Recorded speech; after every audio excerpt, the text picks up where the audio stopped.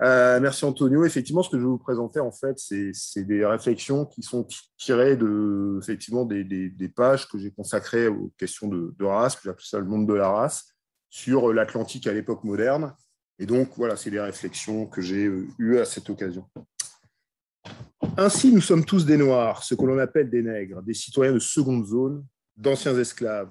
Vous n'êtes rien d'autre qu'un ex-esclave. Vous n'aimez pas vous l'entendre dire, mais qu'êtes-vous d'autre? Vous n'êtes pas arrivé ici à bord du Mayflower, vous êtes arrivé ici sur un navire de traite, enchaîné comme chevaux, vaches et poulets. Ainsi s'exprimait le charismatique leader du mouvement des droits civiques Malcolm X en 1963 à Détroit. Dans cet extrait, il pose la réalité de la négritude américaine en l'inscrivant dans l'histoire de la traite transatlantique. Pour lui, c'est la traite, donc l'expérience de la déportation, puis l'esclavage, qui ont fait les Noirs, qui ont fait les nègres. En 1771, le dictionnaire de Trévoux définissait le nègre, je cite, comme ces esclaves noirs qu'on tire de la côte d'Afrique, qu'on vend dans les îles de l'Amérique pour la culture du pays et dans la terre ferme. Ici, la couleur de peau noire se double d'une identité sociale de l'esclave qui produit le nègre. Mais en fait, dès le XVIIe siècle, dans les dictionnaires et les encyclopédies, nègre et, noir sont des termes souvent euh, synonymes, synonymes d'esclave. L'essor du monde atlantique avec la traite et, l'esclavage à partir du, XVIe siècle a été un facteur décisif dans la cristallisation de l'idée de race mobilisée pour rendre compte de la diversité humaine, mais aussi des rapports de domination qui s'expriment en Amérique plus clairement qu'ailleurs. En effet, à bien des égards, les sociétés américaines furent et demeurent profondément marquées par les questions raciales, car leurs territoires ont tous connu à des degrés euh, divers l'esclavage racialisé, ce qui n'est pas le cas en Europe, je dis dans toute l'Europe. Je fais bien attention à ce que je dis ici. Je voudrais ici donc montrer comment les singularités atlantiques de l'époque moderne ont contribué à façonner l'idée de race, entendue comme un regroupement d'individus sur la base de signes extérieurs communs, en l'occurrence la couleur de la peau. Alors, d'abord, évidemment, euh, le désenclavement atlantique n'a pas fait euh, découvrir la diversité humaine et il y a, voilà, c'était dans le mauvais ordre, il y a des euh, représentations de noirs dans l'art médiéval, comme vous avez ici Balthazar qui est un des rois mages, ou ici Saint-Maurice. Et il existe, bien avant le XVIe siècle, une conscience de la diversité humaine, même si le rapport entre les caractéristiques physiques et les localisations ne sont pas encore bien établis. Vous voyez ici, par exemple, sur cette cosmographie universelle de, euh, Guillaume Le Testu, vous voyez donc dans la région de la Guinée que, que, a exposé tout à l'heure, bah, vous voyez des hommes euh, à la peau plus, noire, du moins que ceux qui sont euh, au sud de, l'Afrique ou encore, on va le voir ici au, Brésil, par exemple. Hein. au Brésil, vous voyez, on n'est pas sur une carte est nord-sud. Alors, il y a des Noirs en Europe depuis l'Antiquité et euh, à la fin du XVe siècle, Lisbonne, un auteur euh, situé à ma droite, comptait euh, à peu près 10% d'esclaves noirs, une proportion qui augmenta par la suite. Et au milieu de l'année 1530, le voyageur flamand Nicolo Clenardo affirmait au sujet de la capitale portugaise Les esclaves pullulent de partout, le Portugal est rempli de cette caste de gens. Même si tous les Noirs du Portugal et d'Espagne n'étaient pas des, des esclaves, la condition servile des Noirs était bien une particularité ibérique et plus largement méditerranéenne, puisqu'on l'a retrouvée, alors, j'allais dire, ni en France, ni en Angleterre. Alors, ni en France, parce que théoriquement, depuis, depuis 1315, euh, l'entrée du royaume était réputée rendre libre, et on voit d'ailleurs qu'un navire qui amène des, Africains à Bordeaux en 1571, eh bien, euh, ces Africains sont remis en liberté sur ordre du Parlement de la, ville de, de Bordeaux. plus d'esclavage en France. Alors, en Angleterre, c'est beaucoup plus compliqué on a un cas euh, d'une flagellation d'un esclave russe, esclave russe en 1569, et à, partir de, c'est à cette occasion, il y a un procès, euh, et euh, la justice élisabéthaine énonce le principe que l'air du, du royaume, c'est-à-dire du royaume d'Angleterre, est trop pur pour que des esclaves puissent le respirer. Donc, de là, on a déduit qu'il n'y avait plus d'esclavage en Angleterre. Euh, alors, ce qui pose problème, c'est que jusqu'au milieu du, XVIIIe siècle, encore dans les années, j'en ai encore vu un sur le 1760, on vend encore des, euh, dans les journaux, notamment à Bristol, hein, Negro, Negro Boy, etc. Donc, pour, euh, donc, on a encore des gens qui sont vendre. Donc, alors, évidemment, les besoins pas, pas, n'ont pas besoin, les Européens n'ont pas besoin de l'idée de race pour penser leur supériorité vis-à-vis des, euh, des peuples qu'ils ont, qu'ils ont rencontrés. Euh, Mais évidemment, cette ouverture, ce désenclavement de l'espace atlantique va permettre d'enrichir la réflexion sur, disons, l'altérité. Il est d'ailleurs significatif que le terme de sauvage, réservé aux animaux, passe aux hommes au XVIe siècle. Hein. Et cette perspective donc, civilisationniste, qu'il faut bien voir, c'est que dans un premier temps, la perspective civilisationniste n'essentialisait pas les individus. On le voit par exemple avec le, capucin Claude d'Abbeville, qui euh, a séjourné au Brésil et qui a ramené au début du XVIIe siècle des, euh, des Amérindiens du, Brésil. Il parle notamment d'une jeune, Amérindienne et dont il a assuré l'éducation et qui dit voilà, elle pourrait passer pour une petite Française bien née. Cet enfant n'a de sauvage que le teint et la couleur. Donc on voit bien que la couleur est ici un marqueur discriminant euh, du, du sauvage au, civilisé, mais qui peut être atténué par l'éducation. C'est ce que vous avez vous voyez, sur, ces, sur ces images. Donc ça, c'est avant. Et ça, c'est euh, après. Vous voyez un peu la métamorphose en quelque sorte. Euh, ce n'est que progressivement, avec la maturation de l'idée de race, que la couleur de peau devient une condamnation à une, relégation sans issue. Et cette période, c'est la période du XVIIe siècle, qui, à mon sens, joue ici un rôle, fondamental. Euh, on le voit par exemple en Nouvelle-Angleterre avec la, guerre du, roi Philippe entre 1675 enfin, 1675-1676, hein, qui jette un doute profond sur la possibilité d'évangéliser les Amérindiens et donc de les amener à civilisation. Donc, s'il n'est pas possible de les évangéliser, c'est qu'ils appartiennent à une espèce différente. On a le même processus euh, en, euh, en Nouvelle-France. Aux Antilles, les choses sont un petit peu différentes. Et si on prend par exemple le cas de la Barbade, que vous avez euh, ici, la Barbade, c'est la première île à entrer dans ce qu'on appelle la révolution sucrière. Et c'est le premier territoire américain où on va avoir une majorité de population noire par rapport au nombre de blancs.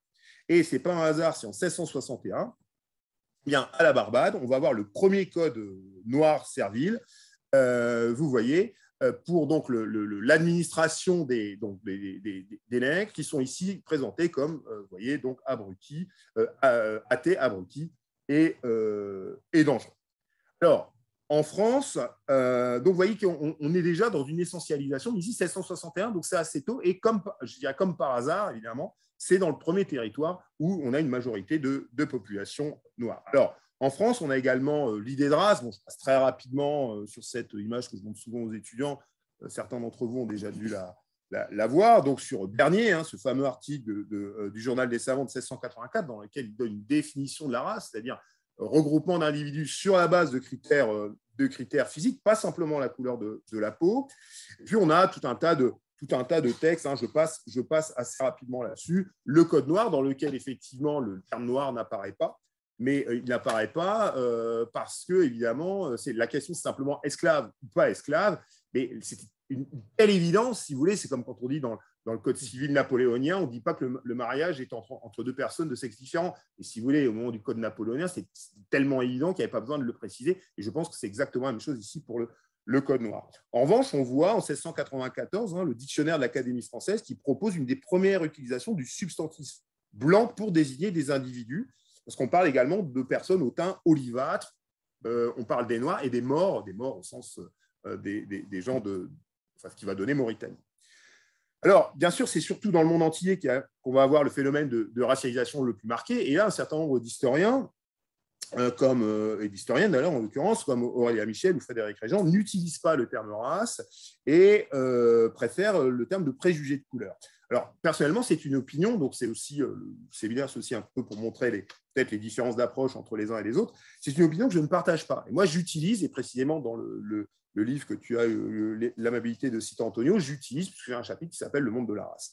Alors, j'utilise le terme race pour, pour, pour deux raisons, à mon sens. Le premier, c'est que, on l'a vu avec, avec, euh, on le voit ici avec Bernier, eh bien, il y a déjà une, conception de cette sorte de déterminisme qui est lié à euh, la couleur et euh, aux, caractéristiques physiques d'un certain nombre de groupes, de groupes humains, une essentialisation, quelque chose qu'on retrouve hein, très, très couramment. Et si vous prenez l'auteur de Mingois, Moreau de Saint-Méry, le fameux auteur de Mingois, Moreau de Saint-Méry, lui, il met les métis et les noirs, il les met ensemble, et pourquoi les met-il ensemble Non pas parce qu'il dit oui, ils ont des couleurs qui sont proches et très différentes du blanc, parce que, nous dit-il, ils aiment le plaisir et ils ont une aversion pour le travail. Voilà un, trait, un trait, qui permet de les identifier. Quant aux mulâtresses, eh bien, elles sont comme les femmes noires, elles sont, je cite, tout entières livrées à la volupté le feu de cette déesse brûle dans leur cœur.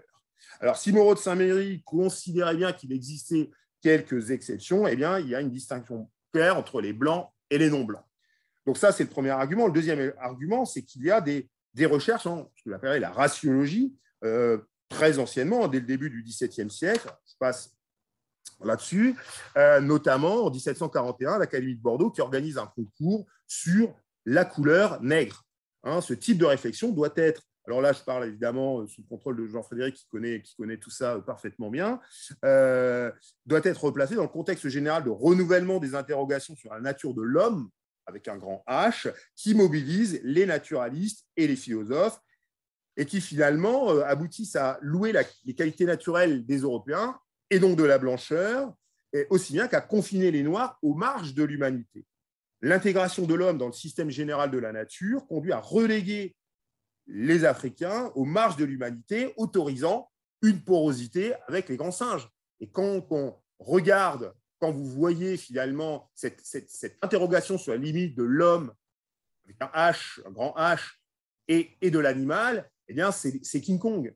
King Kong euh, qui tombe amoureux de, euh, vous savez, dans la, version, je ne sais plus, des années 30 peut-être, hein, il tombe amoureux d'eux et elle est troublée aussi. Donc là, il y a quelque chose, si vous voulez, qui, qui dérange. C'est cette, affaire que nous avons euh, ici, sauf qu'aux marges inférieures de l'humanité, il y a les, il y a les euh, sont considérés évidemment les Africains, ce qui ouvre euh, la voie à un certain nombre de, de, théories qui vont se développer par la suite, notamment les premières, les premières tentatives, si j'ose dire, de racisme scientifique hein, qu'on voit euh, par exemple ici, hein, chez euh, le néerlandais euh, Petrus Stamper, mais on en a bien d'autres, bien d'autres, bien d'autres exemples. Alors, la disqualification raciale des, des, Africains, elle est liée en partie à la controverse de Valladolid et finalement à l'hostilité des souverains espagnols et de la papauté, notamment avec la, bulle Sublimus Deus de 1537,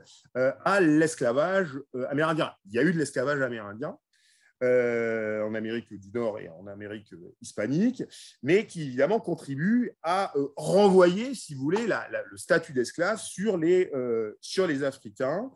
Et tout cela qui est fondé sur plusieurs éléments. Le premier élément, et je vais reprendre ici ce que Sturgeon disait tout à l'heure, c'est la malédiction de Cham, hein, effectivement. Donc c'est pareil, ça je le montre aux étudiants quand je fais cours sur cette sur, cette, euh, sur, ces questions-là. Et alors, effectivement, c'est un peu théorique, c'est-à-dire que les, les, les, Africains seraient descendants de Cham, les, fils maudits euh, de Noé, donc condamnés à être dans la Genèse, hein, les esclaves de, de leurs frères. Euh, alors, effectivement, c'est un argument, si je veux dire, enfin un élément plutôt qui devait tromper personne, sauf que en 1753, le Goth de Virginie justifiait encore l'argument de enfin, justifiait encore l'esclavage des Noirs par ce type d'arguments par des arguments, euh, par les arguments religieux. Donc ça, c'est le premier élément. Deuxième élément, c'est l'existence de l'esclavage en Afrique. On dit, bah, au fond, bah, finalement, ils sont habitués à l'esclavage. A l'esclavage en Afrique, donc euh, l'esclavage aux Antilles, en Amérique, euh, c'est à peu près pareil. Sauf qu'évidemment, euh, ce n'est pas le même esclavage du tout. Ce n'est pas le même esclavage, puisqu'on n'est pas dans un, esclavage complètement et intégralement de production, ce qui est le cas dans les, dans les plantations, par exemple, où, euh, ceci dit, il faut faire attention à une chose, et euh, là, il y a quand même un certain nombre d'historiens spécialistes euh, qui, ont quand même bien attiré l'attention là-dessus. Ce n'est pas parce qu'on était dans un esclavage qui n'était pas un esclavage de, production au sens travail sur les plantations que l'esclavage africain était un esclavage doux. Hein. il faut quand même bien faire attention à ça. Un esclave reste un esclave. même s'il y a effectivement des conditions de vie qui peuvent être différentes. Et puis, troisième élément, moi, qui me paraît le plus intéressant, c'est la nature même des Africains, réputés être dénués d'intelligence. Donc là, on est bien dans cette espèce de détermination, euh, si vous voulez, raciale, inaccessible à la raison, euh, à la raison pardon, euh, enclin au péché et au vice, et qui disposait d'une force, d'une force physique pouvant être mobilisée sous la contrainte. Comme finalement une sorte de sous-humanité qui se reproduisait ou qui sortait des cales des navires négriers, la manœuvre noire était à sa place en trimant sur les plantations. Alors que les Européens n'enduraient qu'à grand-peine le travail pénible sous le euh, climat tropical, les Africains étaient réputés capables de s'en acquitter.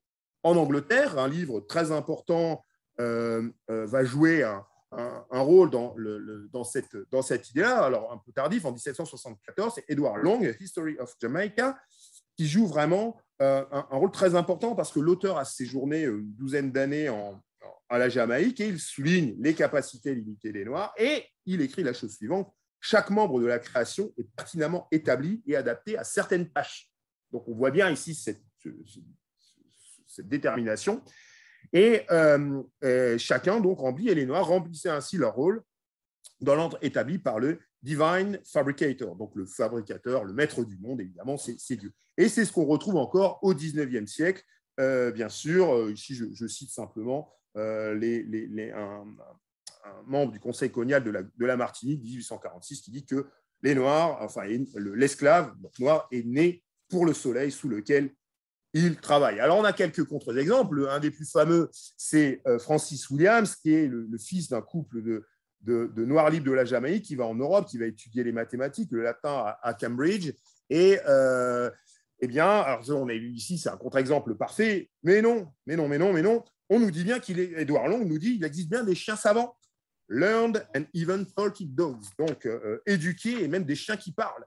D'ailleurs, on, se dit, oui, euh, oh, Williams doit bien avoir un père blanc quand même pour être aussi brillant. Et d'ailleurs, David Hume estimait que c'était qu'un perroquet qui faisait que répéter, mais qu'évidemment, il ne comprenait rien. Alors, un des grands problèmes de ces questions, dans ces questions raciales, c'est la question du métissage. Alors, il faut bien voir, c'est que euh, euh, dans un premier temps, eh bien, le métissage, notamment en France et notamment en Nouvelle-France, a été encouragé. Car dans, les colonies, euh, dans la colonie de Nouvelle-France, en 1666, il y avait 5% de femmes. Et donc, il fallait, évidemment, le métissage était inévitable. Et il y avait même une volonté, on a des instructions de Colbert qui demandent enfin, à favoriser les mariages mixtes, dirons-nous, pour, pour parvenir à, euh, euh, augmenter finalement, à faire croître la, population. Mais les choses vont changer euh, au XVIIIe au 18e siècle et on va avoir dès le début du XVIIIe siècle, encore une fois au Canada, pour rester sur le même espace, hein, en 1719, le gouverneur Vaudreuil interdit les mariages mixtes, considérant qu'il ne faut jamais mêler le mauvais sang avec le bon. on a la même chose, par exemple, sur le Code Nord de Louisiane de, 1700, de 1720. Alors, on voit bien que la, question, la question du métissage, rejoignent aussi la question des libres de couleur. C'est-à-dire que dans un ordre racial, eh bien, on voit qu'il y, a des, catégories qui sont des catégories en quelque sorte euh, intermédiaires. Et on va avoir un basculement de, euh, voyez, de la barrière de, la barrière de servitude à la barrière de couleur.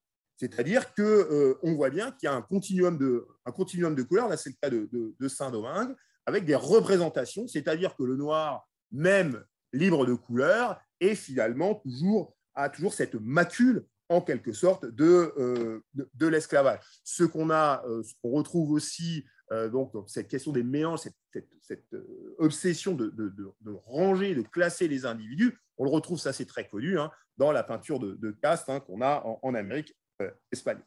Pourtant, est-ce que même pour les gens de cette, de cette époque, la catégorie de, couleur et donc de race était des catégories, disons, objectives?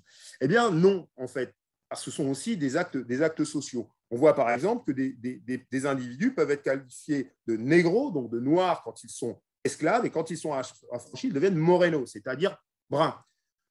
Autre exemple, et je pensais à ce que Urchelin disait tout à l'heure, c'est Michel Jajoli de la Cour, qui était directeur du comptoir de, Saint-Louis du Sénégal, à la fin du XVIIe siècle, écrit la chose suivante Certains nègres et mulâtres se disent portugais.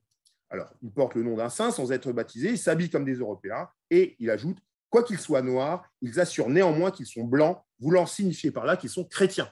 Donc on retrouve hein, ces considérations religieuses. autre cas que je peux donner, c'est le cas d'un certain Denis McCarthy, à la fin du XVIIIe siècle, qui est un livre de couleur à la, à la Nouvelle-Orléans. Alors il arrive à la Nouvelle-Orléans, il y a une bagarre et il est blessé. Et puis finalement, il meurt quelques jours après. Donc c'est une petite histoire, mais qui a laissé des traces. On voit que quand il arrive à Nouvelle-Orléans, il est qualifié de nègre libre. Puis, quand il, est, euh, quand il est blessé, il est qualifié de griffe, c'est-à-dire, selon Moreau de Saint-Méry, noir plus métis. Et quand il est enterré, il est considéré comme mulâtre, c'est-à-dire blanc plus noir, métis. Autrement dit, il s'éclaircit avec le temps, mais c'est toujours la même personne. Donc, ce qui montre bien que ces catégories, si vous voulez, de couleurs, elles sont quand même extrêmement, euh, discutables. Elles sont discutables, effectivement, parce que il y a euh, en même temps une volonté, si vous voulez, de, de, fixer ces individus. Euh, par exemple, on voit qu'une instruction qui a envoyée aux administrateurs français à la Martinique en 1777, qui précise à propos des affranchis, donc des libres de couleur, je cite, à quelque distance qu'ils soient, leur origine conserve toujours la tâche de l'esclavage. Euh, autrement dit, l'institution sociale de l'esclavage a infiltré donc complètement les critères de race. Il y a une sorte de retournement dialectique. Alors que les ancêtres ont été esclaves parce qu'ils étaient noirs, leurs descendants affranchis restent noirs parce qu'ils ont été esclaves. Vous voyez, c'est un système en fait qui tourne, qui tourne en rond. Et on le voit bien euh, avec les considérations sur les, le changement de, statut par passer de blanc au noir. On trouve parfois trois générations. Édouard Long, que vous avez ici, cinq générations, ou on va avoir chez Moreau de Saint-Méry sept générations.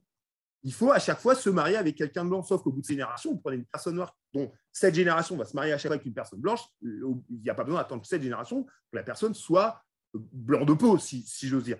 En fait, qu'est-ce qui s'efface C'est le souvenir de l'ancêtre noir, ce n'est pas la couleur de la peau. Donc on voit bien que la catégorie des noirs, c'est aussi un regard qui est, euh, qui est lancé euh, sur les individus. Euh, petit exemple très rapide, eh bien, on voit aussi que les, on, a dans au XVIIe siècle hein, des, corsaires français qui vont arrêter, qui vont mettre en esclavage des, gens qui, des Espagnols sur la foi de la critère de leur peau, alors qu'en fait, en les prenant pour des Africains. ils disent oui, ils ont une peau noire, donc hop, on les met en esclavage. Et en fait, il s'avérait que c'était des, euh, euh, des Espagnols. Alors finalement, pour, conclure euh, quelques, quelques mots, l'idée de race replacée dans son contexte atlantique est donc, on voit bien, une construction sociale, et la couleur de la peau n'est pas, pas que la manifestation d'une appartenance, raciale, c'est aussi le, le, signe d'un statut de dominé, ce qui fait la différence entre noir et nègre. C'est pour ça que dire l'un et l'autre, ce n'est pas, pas synonyme. Et donc, c'est le symbole d'une appartenance à une humanité réprouvée en quelque sorte. En ce sens, au moins autant que la couleur proprement dite, c'est la généalogie hein, qui, fait les gens noirs. La pensée raciale, donc, qui se constitue dans l'Atlantique de l'époque moderne, repose fondamentalement sur deux postulats. D'abord, la hiérarchie, parce qu'il n'y a pas de pensée raciale sans pensée hiérarchique. On ne peut pas penser les races sans penser la hiérarchie, puisque finalement, l'égalité détruit l'idée de race, au sens de l'attachement des qualités et des défauts des uns et des autres. Et puis, deuxièmement et dernièrement, c'est la négation du changement, euh, que ce soit par la conversion, par l'adoption d'une nouvelle culture ou de nouvelles mœurs. La race est une macule inaltérable qui entache l'individu et ses réalisations, mais aussi sa descendance. Elle nie par conséquence la possibilité du progrès par une assignation héréditaire fondée sur une réflexion qui a les apparences d'un raisonnement. Et c'est pourquoi je, voudrais simplement reprendre, tout à fait terminé, les mots de l'historien Peter Fryer qui dit, je cite, le racisme est au préjugé de couleur ce que le dogme est à la superstition. Je vous remercie de votre attention.